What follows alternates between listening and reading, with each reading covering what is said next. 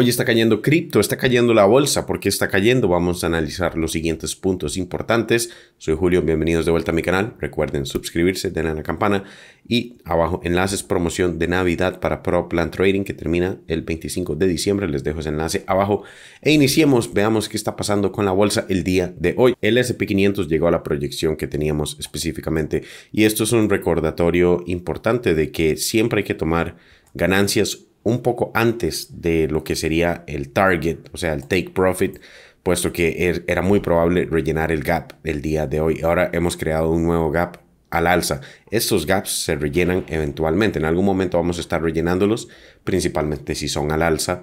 Eh, no todos a la baja se rellenan. Si vemos velas semanales con mayor probabilidad de rellenarse, pero en velas diarias, sí, claramente cuando los rellenamos eh, son magnetos que atraen el precio y rellenamos este de acá, el cual podríamos eliminar. Pero nuevamente es importante tomar profits un poco antes para las personas que estaban en corto, bajistas, que querían llegar a este punto.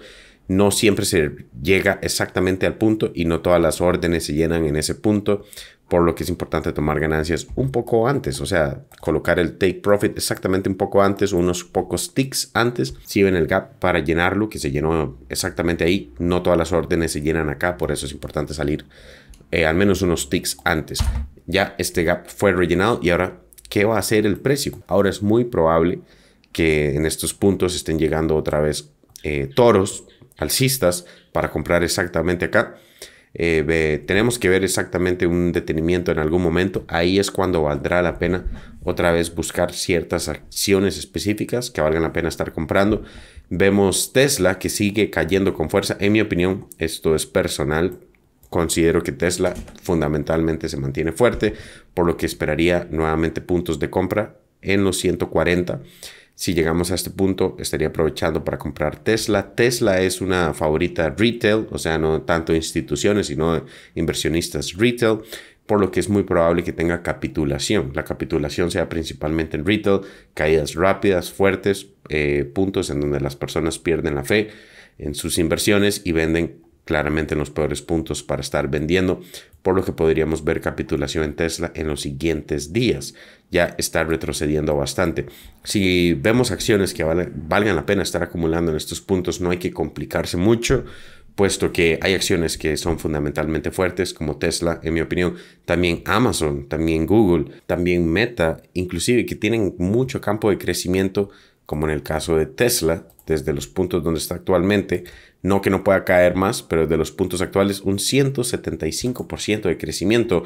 Y es Tesla de lo que estamos hablando. Otras como Shopify, eh, desde los puntos actuales que ya salió de la línea del mercado bajista general, solo desde el punto actual son 392%. Claro que requieren paciencia porque son acciones que no necesariamente se van a levantar hasta que pase todo lo fundamental que hemos estado viendo, como las tasas de interés. Queremos ver eventualmente que ya se tiene un 94% de probabilidad que sea únicamente 25 puntos base para febrero. Eso sí, falta bastante tiempo, pero ya tenemos mayor probabilidad de que la Reserva Federal va a comenzar, va a, comenzar a disminuir el aumento. O sea, el aumento ya no va a ser los 75 puntos de antes, ni los 50, ahora serían solo 25.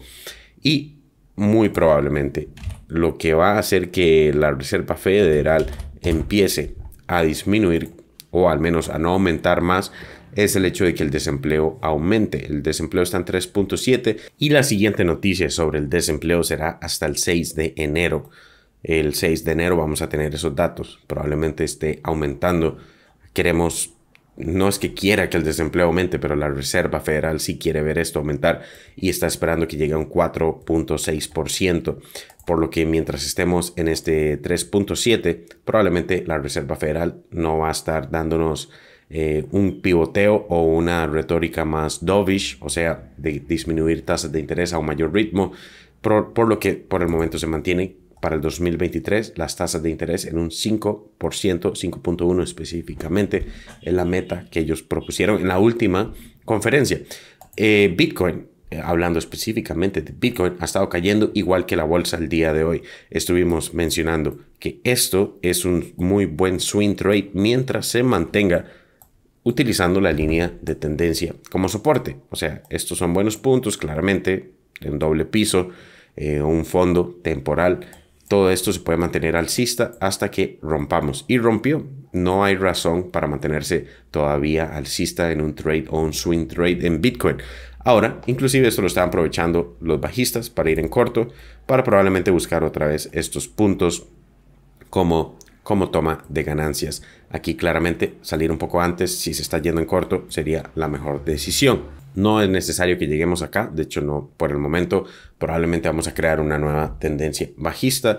Toda esta etapa de mercado bajista para Bitcoin significa lateralización por todos eh, los pisos, es muy normal después de crear fondos, si es este realmente el fondo, que nuevamente estamos en el segundo mercado bajista eh, más largo de la historia de Bitcoin, que es un poco más de una década, usualmente igual lateralizamos si es este el fondo, nuevamente. Cuando vamos a encontrar eh, fuerza en Bitcoin, cuando nos estemos acercando al Bitcoin halving, que será hasta el 2024, abril del 2024. Algo que es muy importante hablar es de Binance. Binance está teniendo mucho fear, uncertainty and doubt. FUD. O sea, hay noticias al respecto, hay miedo, hay dudas. En mi opinión, Binance está fuerte. Estos 3.6 mil millones que se están retirando de Binance en los últimos 7 días no se compara a la cantidad de liquidez que ellos poseen, que son 50 mil millones. Es apenas, podemos decir, un 4 o un 5% del total de lo que posee Binance en liquidez, por lo que no es un bank run similar a lo que, ha estado, lo que pasó con FTX. Ahora, claramente, si se fijan, todo lo que está pasando con FTX, Kevin eh, O'Leary hablando acerca de que Binance tuvo la culpa de que ahora Binance es un monopolio, no tienen, no tienen argumentos válidos. Eh, la culpa la tuvo FTX, no Binance. En sí, no creo que pase nada con Binance, pero si quieren estar seguros, siempre es importante no dejar todo dentro de una casa de cambio. Yo mantengo dentro de Binance lo que opero, o sea, lo que estoy utilizando para comprar o vender que son porcentajes, no es necesariamente todo Bitcoin.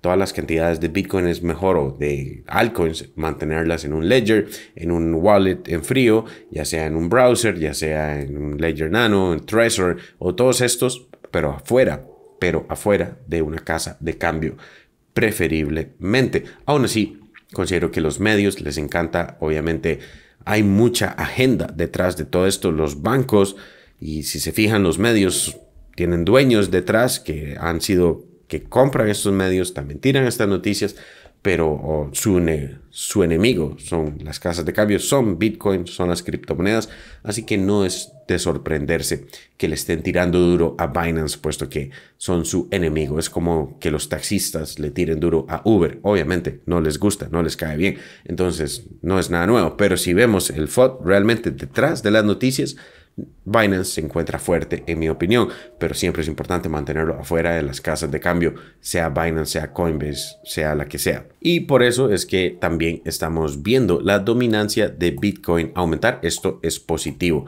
En un mercado bajista vemos la dominancia de Bitcoin aumentar, lo cual nos da... Eh, más razones para creer de que estamos haciendo lo que siempre hacemos en un mercado bajista. Bitcoin aumenta en dominancia, altcoins pierden dominancia, altcoins pierden versus Bitcoin. Considero que inclusive Ethereum versus Bitcoin puede caer más. Estoy esperando estos puntos de compra. Eh, si se combina con dobles confirmaciones, como por ejemplo no solamente este soporte, sino también esta línea de tendencia, o sea, llegamos a estos puntos, el precio continúa cayendo acá, estos serían puntos de compra que me interesarían. Muchas altcoins están perdiendo fuerza versus Bitcoin, puesto que Bitcoin está creciendo en dominancia, no versus dólar, pero sí versus altcoins. Y esto es lo que hace el mercado bajista siempre, afirmar a las personas que Bitcoin es el líder. Y después, cuando nos acercamos al siguiente Bitcoin halving, ahí sí podríamos ir considerando muchas altcoins para estar mayormente posicionado en esas. Esto es algo que vengo diciendo desde hace meses. Siempre en un mercado bajista, Bitcoin es líder. Eh, estamos en un Bitcoin season, claramente podemos verlo acá. Es importante eh, si todavía se tienen altcoins, posicionarse principalmente en Bitcoin, viendo la gráfica de Bitcoin versus altcoins. Eso sí, ya muchas han estado perdiendo fuerza, pero ciertas otras, como por ejemplo Matic, todavía está muy cerca de puntos donde podría valer la pena moverse a Bitcoin. Y después, cuando Matic esté en estos puntos, si llegamos, o al menos en puntos medios, vale la pena acumular esas altcoins, pero no en este momento.